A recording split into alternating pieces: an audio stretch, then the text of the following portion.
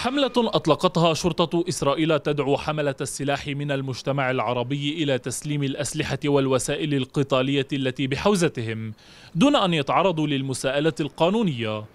يطرح المواطن العربي عدة تساؤلات حول مدى فاعليتها وجدواها. اللي بيملكوا سلاح مين هني؟ الناس اللي هن اصحابين مشاكل اصحابين كذا أو هو بيبتز الناس من ناحيه من ناحية مصاري أو بيبتز كذا من ناحية الدكاكين. هدول بيصيرش يسلم سلاحه هيك فوق لأنه هو عارف إذا بيسلم سلاحي فوق ما بيسلم سلاحه شايف؟ برضه عليه عقاب. أنت ليه بتملك سلاح؟ لماذا ملكت سلاح؟ يمكن تتكشف عنده أشياء كثيره اللي هو كان يعملها. من سرقات من ابتزاز من كذا.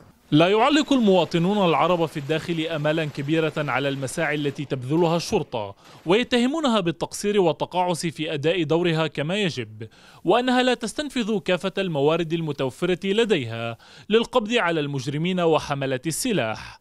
ولا تقوم بإنزال عقوبات شديدة بحقهم على حد تعبيرهم.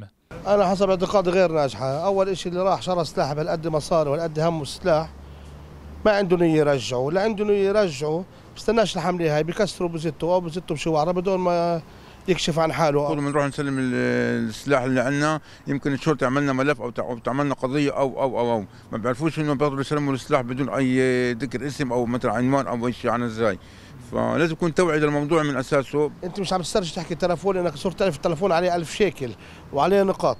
إذا بيجي بقول لك التلفون عليه 10000 شيكل وصاحب رخصة أشهر بفلت التلفون بالدار. فإنت تعال شدد العقوبة واللي بنمسك معاه سلاح أو بيطلق طلقة بسلاح 20 آه، سنة حبس.